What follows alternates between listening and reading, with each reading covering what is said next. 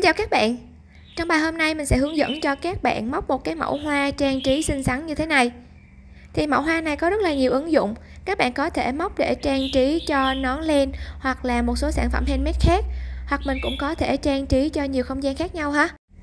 Và mình cũng có thể thay đổi màu tùy thích cho mẫu hoa của mình nè Tùy vào không gian mà các bạn có thể phối màu tùy thích ha. Đối với mẫu hoa này thì mình sẽ sử dụng len miêu cotton 125g và kim 2,5mm các bạn cũng có thể thay đổi loại kim khác nhau tùy vào cái sản phẩm các bạn à, trang trí và mình sẽ sử dụng kim cho phù hợp ha. Thì bây giờ mình sẽ đi vào hướng dẫn chi tiết.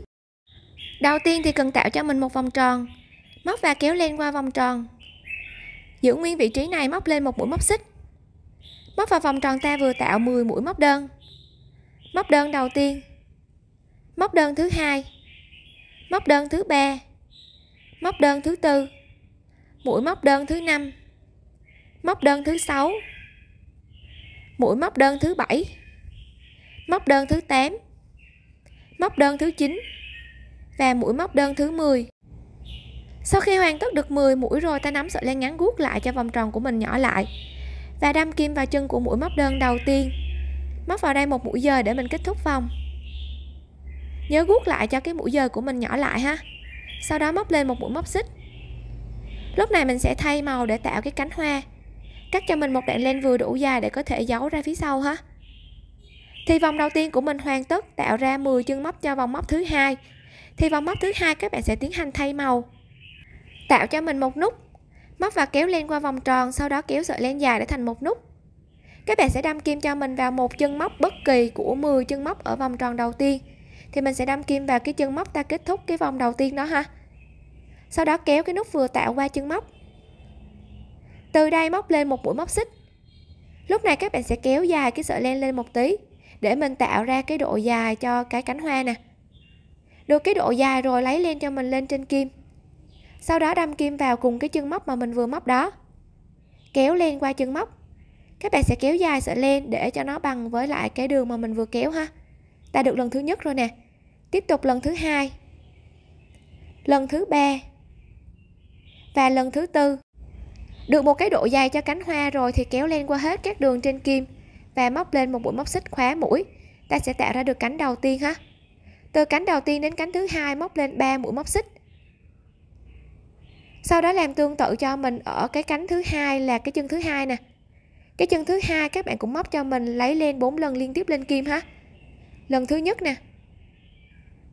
Kéo cho nó bằng với cái cánh đầu tiên. Tiếp tục lấy lên lần thứ hai lần thứ ba và lần thứ tư. Kéo len qua hết các đường trên kim. Sau đó móc lên một mũi móc xích khóa mũi. Ta được cánh thứ hai. Làm tương tự cho mình cho các chân còn lại ha lên 3 mũi móc xích. Cánh thứ ba sẽ móc vào chân thứ ba. Lấy len lần lượt 4 lần liên tiếp lên kim nè. Và mỗi lần lấy len như vậy, các bạn sẽ đâm kim cho mình. Kéo lên và kéo cho nó bằng với lại các cánh đầu tiên ha lần thứ hai nè. Lần thứ ba và lần thứ tư. Được một độ dài như thế này rồi kéo lên qua hết các đường trên kim. Sau đó móc lên một mũi móc xích khóa mũi và lên 3 mũi móc xích để gây nên cánh tiếp theo. Làm tương tự cho mình cho đến khi mình được 10 cánh ha. Sau khi đã móc đủ 10 cánh rồi, từ cái cánh thứ 10 nè, các bạn cũng móc lên 3 mũi móc xích. Sau đó mình sẽ đâm kim đến cái chân mà mình khóa mũi ở cái cánh đầu tiên á. Là cái chân này ha. Móc vào đây một mũi dời sau đó móc lên một mũi móc xích, kéo và cắt len. Cắt cho mình một đoạn len vừa đủ dài để mình có thể giấu cái đoạn len này ra phía sau mũi móc ha. Ta sẽ hoàn tất được vòng thứ hai, tạo ra cái cánh hoa chính giữa. Tiếp tục đến vòng móc thứ ba, mình cũng thay màu. Các bạn cũng tạo cho mình một nút. Khi có được một nút rồi, mình sẽ đâm kim vào một cái khoảng trống bất kỳ của cái phần cánh hoa màu vàng này nè. Đâm kim vào một khoảng trống bất kỳ. Thì mình sẽ đâm kim vào một khoảng trống này ha sau đó mình kéo nút vừa tạo qua cái khoảng trống này. Từ đây móc lên hai mũi móc xích. Sau đó móc vào khoảng trống đó một mũi kép đơn. Thì đây mình sẽ gọi là một họa tiết ha. Hai mũi xích đầu với một mũi kép đơn là một họa tiết. Thì tiếp tục di chuyển kim đến cái khoảng trống thứ hai. Khoảng trống này các bạn sẽ móc cho mình hai mũi kép đơn chụm chân ha. Thì mũi kép đơn chụm chân móc cho mình như sau. Ta lấy lên lên trên kim, sau đó đâm kim vào khoảng trống kéo len qua khoảng trống. Trên kim được 3 đường nè, kéo len qua hai đường trên kim. Tiếp tục lấy lên lần thứ hai. Đâm kim, kéo lên, kéo qua hai đường trên kim. Sau đó kéo lên qua hết ba đường trên kim. Như vậy là ta sẽ được hai mũi kép đơn chụm chân ha. Tiếp tục móc lên cho mình là 4 mũi móc xích để mình tạo cái cánh tiếp theo. 1 2 3 và 4 sau đó di chuyển kim cũng ở cái khoảng trống mà mình vừa móc ở đây, móc cho mình hai mũi kép đơn chụm chân. Lần thứ nhất nè, và lần thứ hai. Sau đó kéo qua ba đường trên kim. Sau đó di chuyển kim đến khoảng trống kế bên, khoảng trống đó móc cho mình hai mũi kép đơn chụm chân ha.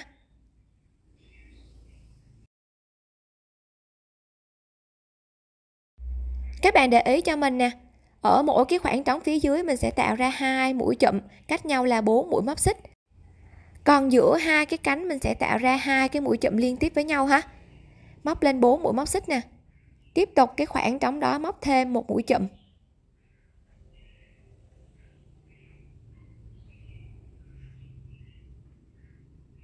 Khoảng trống kế bên móc một mũi chụm. Mỗi khoảng trống sẽ có hai mũi chụm và cách nhau là 4 mũi móc xích ha. Còn chính giữa hai khoảng trống đó sẽ không cách xích nè. Các bạn sẽ móc tương tự cho mình cho đến hết nha. Sau khi đã móc được đến cuối vòng rồi nè, thì cái khoảng trống cuối cùng cũng là khoảng trống đầu tiên mà ta gây nên, cũng tạo cho mình hai mũi kép đơn chụm chân liên tiếp. Sau đó móc lên cho mình 4 mũi móc xích. Để kết thúc vòng này thì mình sẽ đâm kim vào chân của mũi kép đơn thì ban đầu mình có gây nên hai mũi xích và một mũi kép đơn, thì ta sẽ đâm kim vào chân của cái mũi kép đơn ha. Móc vào đó một mũi dời. Móc lên một mũi móc xích, kéo và cắt len. Giấu cho mình sợi len thừa ra phía sau, ta sẽ hoàn tất được vòng móc thứ ba nè. Tiếp tục đến vòng móc thứ tư thì mình sẽ tạo ra những cái đường kẻ chính giữa của hàng thứ tư và hàng thứ hai, cũng như các cái họa tiết cánh hoa bên ngoài. Các bạn cũng tạo cho mình một nút móc và kéo len qua vòng tròn, sau đó kéo sợi len dài để thành một nút ha. Mình cũng đâm kim vào một khoảng trống bất kỳ của cái cánh mà mình vừa tạo ở đây. Các bạn có thể đâm kim vào một khoảng trống bất kỳ. Sau đó mình sẽ kéo cái nút mình vừa tạo qua khoảng trống này.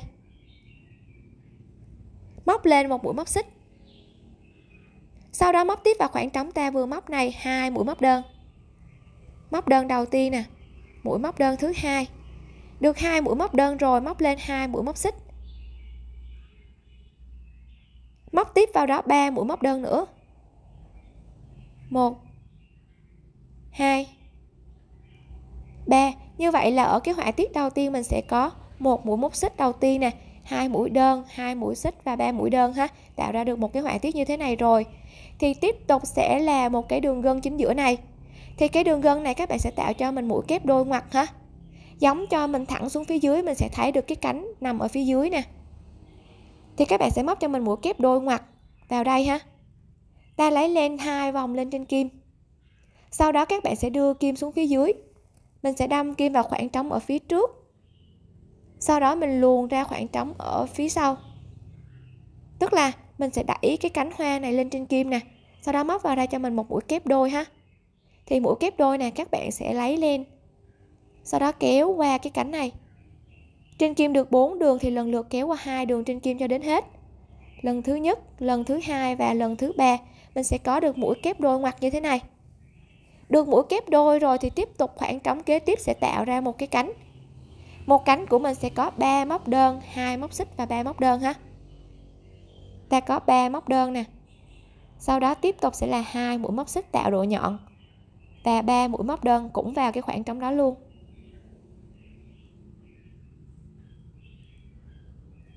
Được một họa tiết như thế này rồi nè. Thì tiếp tục sẽ làm một mũi ngoặt ha. Thì mũi ngoặt các bạn cũng làm tương tự cho mình nè. Mình sẽ giống thẳng xuống phía dưới, giữa của hai cái cánh này nè. Nó sẽ có một cái cánh hoa phía dưới. Thì mình cũng lấy lên hai vòng lên kim. Sau đó mình đưa kim xuống dưới và đẩy cái cánh đó lên trên kim. Móc vào đây mũi kép đôi nè. Lấy lên, sau đó kéo lên qua hai chân trên kim lần thứ nhất, lần thứ hai và lần thứ ba ta được mũi ngoặt hả? Xong mũi ngoặt thì sẽ là cái cánh ở phía bên cạnh vào cái khoảng trống này, ba đơn, hai xích và ba đơn. Lên hai xích nè, sau đó tiếp tục là ba đơn.